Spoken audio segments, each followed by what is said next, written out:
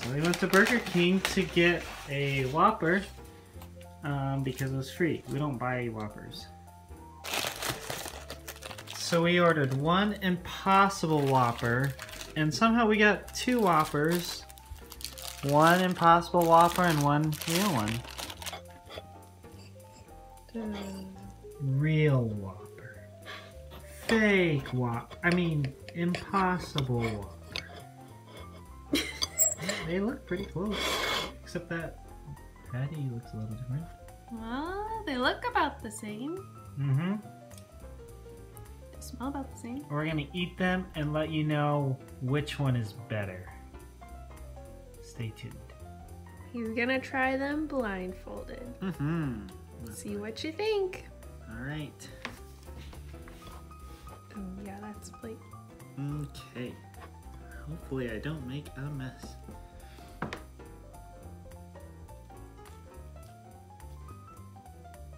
And what'd you get? Mmm. This one tastes a lot like a burger. So, did you get the burger? I think this was the real burger, Okay. but we'll try the other one. All right.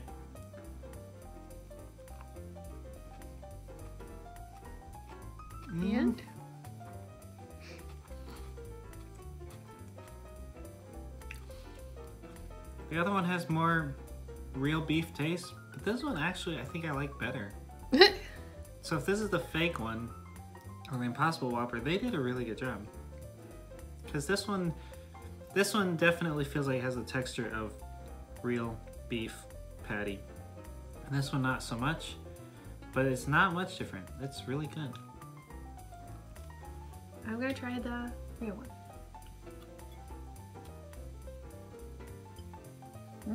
Good? Mm hmm Worth five dollars?